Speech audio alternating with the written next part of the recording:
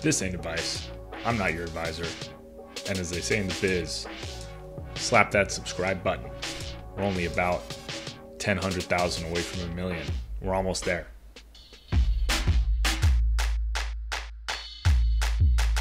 Welcome to another Buck Talk Mailbag episode.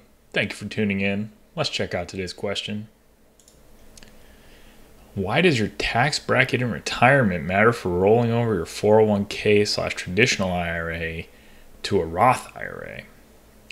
And I'll just give a little background before we read the question. So, it's really common for people to take their 401k and roll it into a Roth IRA rather than a traditional one. And when you do that, you have to pay income tax on whatever value you, uh, it's not called a, a rollover, it's called a conversion. Whatever amount you convert is as if you earned that income that year. Um, so let's read the question now.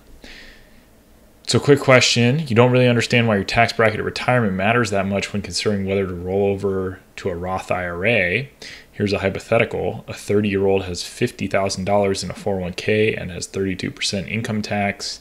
At retirement, they expect to be in a 22% tax bracket. Say they don't invest any additional funds into the account and it grows to $300,000. Okay. Assuming Roth and traditional grow at the same rate in the long run, I'll agree. This person can convert to a Roth right now and pay $16,000 in taxes, or they can wait and pay $66,000 in taxes. Aren't the taxes in retirement going to be higher because the value is so much higher? I feel like I'm missing something fundamental. Thank you for taking the time. You are missing something fundamental. So let's break out our Excel spreadsheets. Okay, so we got our spreadsheet open and we got $50,000 today. That's pre tax. Tax rate today is 32%.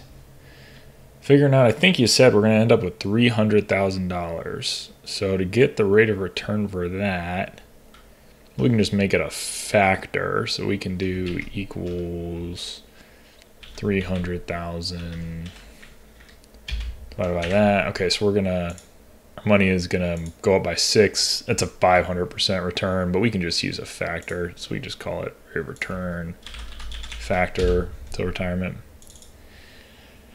Tax rate in the future 22%. Okay, so now we have two options.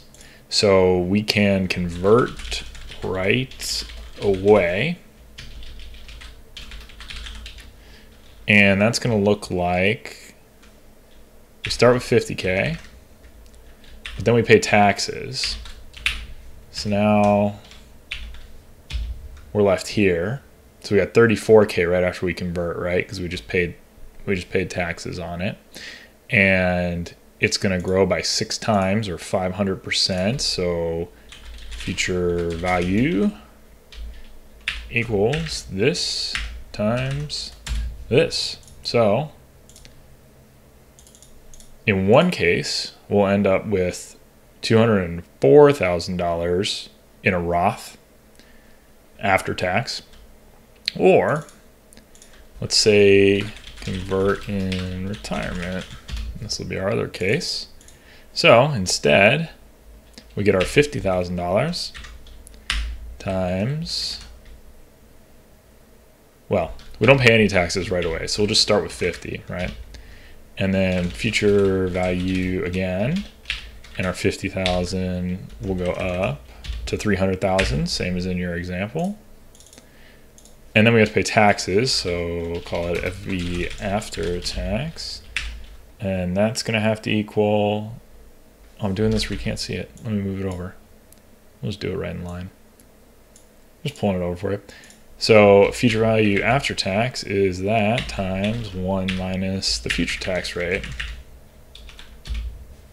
So you can see in the case where you convert it at the lower tax rate, we actually end up with 30 grand more. That's why it matters. Hopefully that makes sense. Good luck with your conversions.